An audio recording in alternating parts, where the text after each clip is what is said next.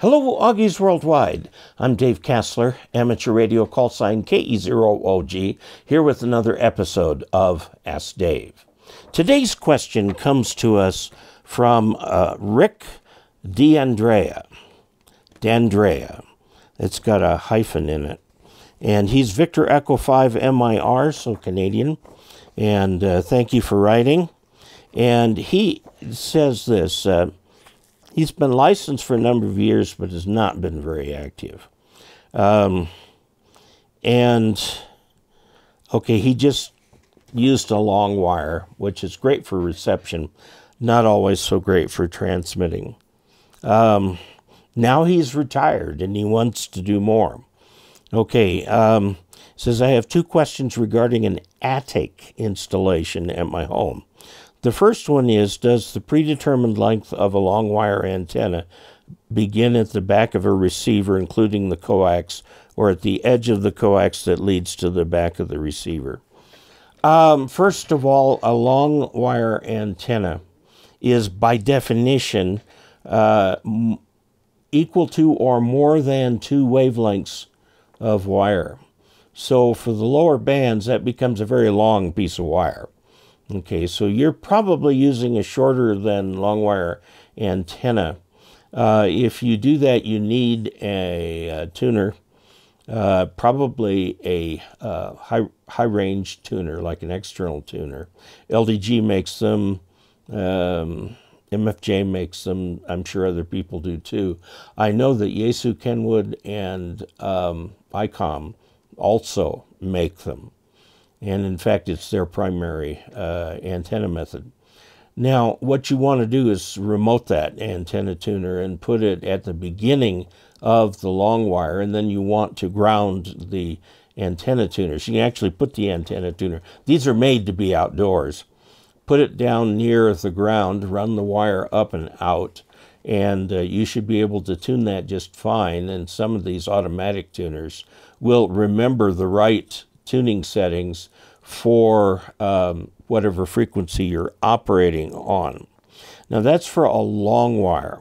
Now if what, and now um, a long wire or just a piece of wire, random wire, is measured from the output of the tuner and out. That's how long it is, okay? Right as it comes out of the tuner. Now, if you put it as an inverted L like this, and you tune it down here, that part right there radiates too. Okay, that's part of the antenna. From the where it exits from the tuner, that is how long the long wire is. Now, some people will attach coax to the output of the tuner, take it up to some point outside that's convenient, and then run the long wire from there. Now, you get kind of mixed reviews on this sort of thing. Uh, what you want to do is bring that coax to a lightning arrestor that will ground the uh, coax, the shield in the coax, ground the shield, okay? And that can help move the RF away from your shack if you don't have an outside tuner uh, for one of these, okay? Um, now, another way of looking at this, uh, I think he's kind of asking the question where does the length of the antenna start? Right at the back of the radio or at the antenna? Now, at the back of the radio, right here, you've got, uh, in this case, an SO239 connector. You attach it to coax. The coax, in this case, goes through the amplifier and out, and so on. And um, the antenna length has basically nothing to do with the coax or the coax length. The purpose of coax is a transmission line. An antenna is an antenna and it radiates. Transmission line should not radiate. Okay, so you're going to uh, measure the length of the antenna from the point that you attach to uh, your antenna. If it's a dipole, you'll be attaching at the middle. If it's a vertical, you'll be attaching at the bottom and so on. Ideally, the coax should not radiate. Now, if you look at a coax, there's three parts. One, the inner conductor. to the inside of the outer conductor, and between the inner conductor and the inside of the outer conductor is where your RF going out is. The other conductor is the outside of the outer conductor, and that can bring RF back in if it's reflected off the way you put the antenna together. If you feed an, a dipole without putting a balun there, there's a good chance you'll get some RF coming back in here. You can put a balun. Now I'm talking about a functional balun. It could be a one-to-one voltage balun. It could be a current balun if you want. Doesn't really matter. It's a middle. And um, a choke balun. Now a choke balun does not have does not have a transformer, but functionally it's a balun because it converts balanced to unbalanced by getting that uh, RF off the outside of the shield. In any event, you're going to run that to your lightning arrestor. I've got a little alpha delta lightning arrestor right here that will be attached to your ground rod. Okay, and that's the end of the line for any current that's on the outside of the outside conductor. What goes through here is the RF that's inside the coax. Okay. So I think that answers your question on uh, the receiver.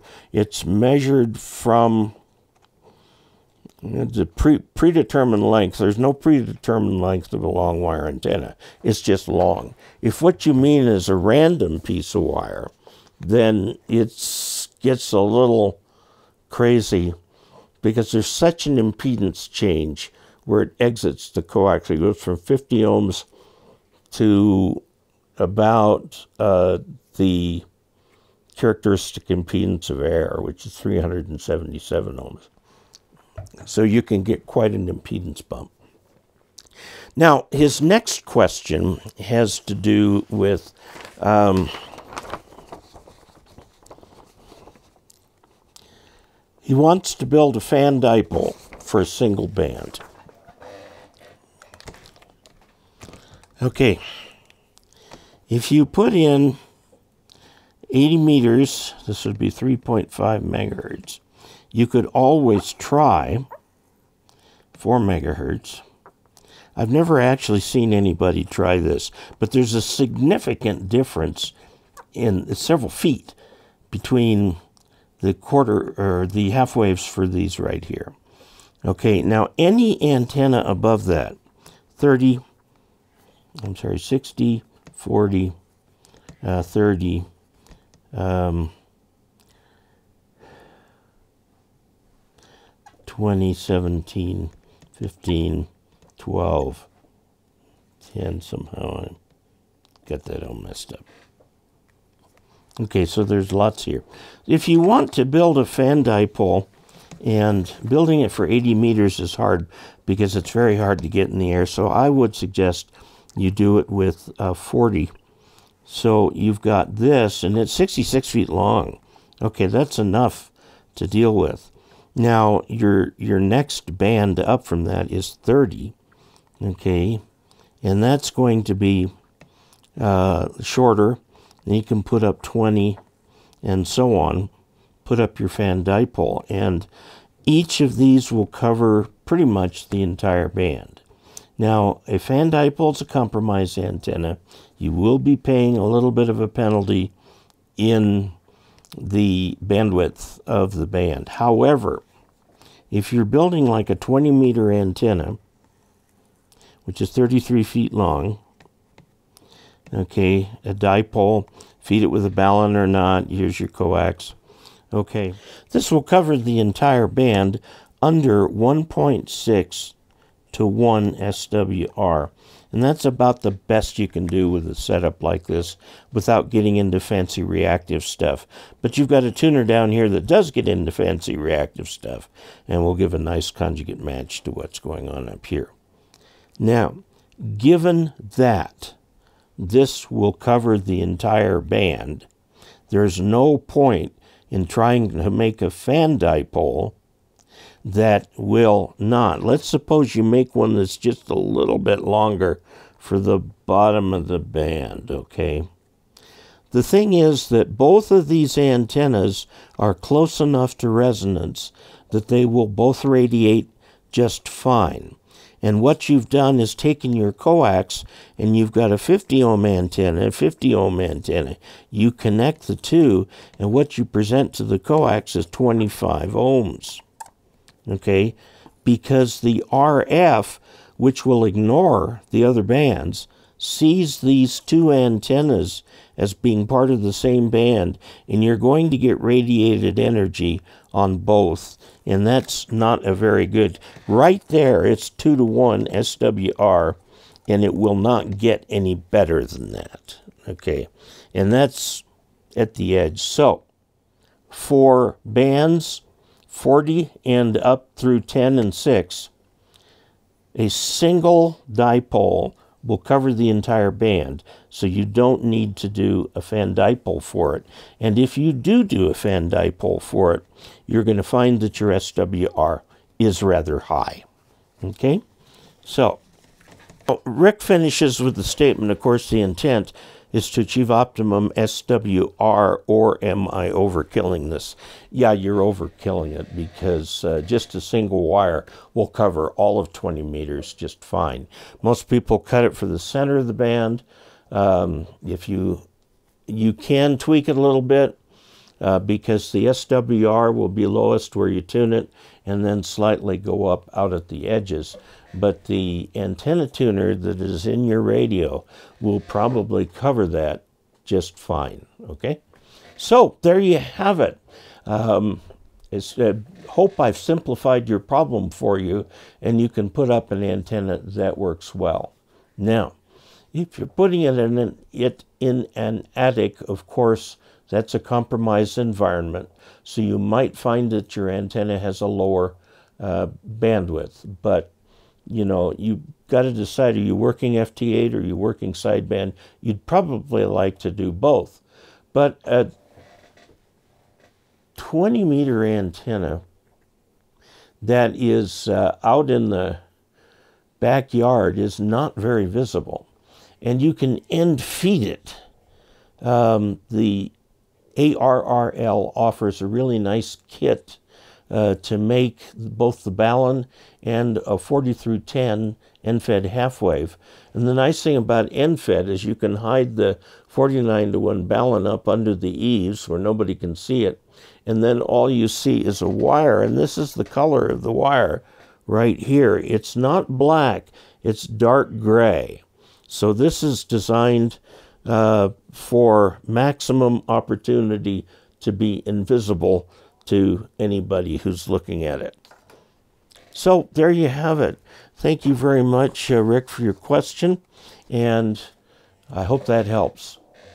Uh, if you would like to help support this channel, all of you viewers out there, please go to dcasler.com slash support. Find a way that works for you.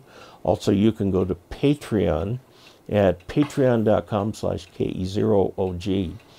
And also, please uh, subscribe, like, and if you would like to contact me, please send an email to askdave at arrl.org. Okay? Until we next meet, 73.